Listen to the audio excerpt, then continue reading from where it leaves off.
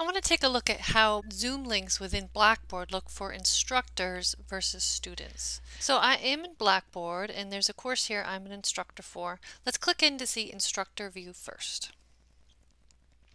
So I'll click into my course and the Zoom link is on the side here. Click on Zoom. The Zoom meeting loads. I want to show you what the instructor sees.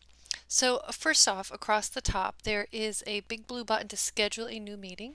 Students don't see this button and a link here to all my Zoom meetings and recordings. It's important to note that students do not see this. So when you click on that, you're going to go and see all the Zoom meetings once you've created through your Zoom account in Calendar or in the Zoom portal, for example. Students won't see those. TAs will see a button, but they will see their own meetings, not yours. Then we have four tabs here uh, just below that. Upcoming meetings, previous meetings, a link to your personal meeting room, and cloud recordings. So mm, the upcoming meetings will show links to start for the host any upcoming meetings or the students are going to see join here instead. Also an option to delete that, could click on the link, scroll down and edit the meeting here as well.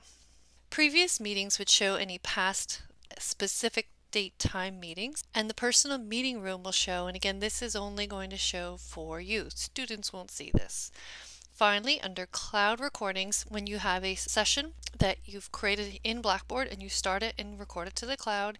The recording will take a little bit to process. Once it's processed, it'd be available in here for your students to view as well, automatically. One important thing to note about these recordings, sometimes they have a passcode on them. So uh, in the description, I'll link to where you can learn how to find the password so you can provide it for your students so they could view the recordings. So that is what the instructor sees. I'm going to go out into a different course now that I am a student in so you can take a look how it looks for students. Now here is the meeting I'm a student of and there's no schedule Zoom link, there's no view all recordings link, and I only see three tabs across the top. With upcoming meetings and there is a reoccurring meeting with a join button, I can click to join the meeting a link to previous meetings. So if there's anything that was scheduled at a fixed time in the past, or if reoccurring meetings in the past that have since concluded, those will be here. And any cloud recordings through the class will also be in here as well.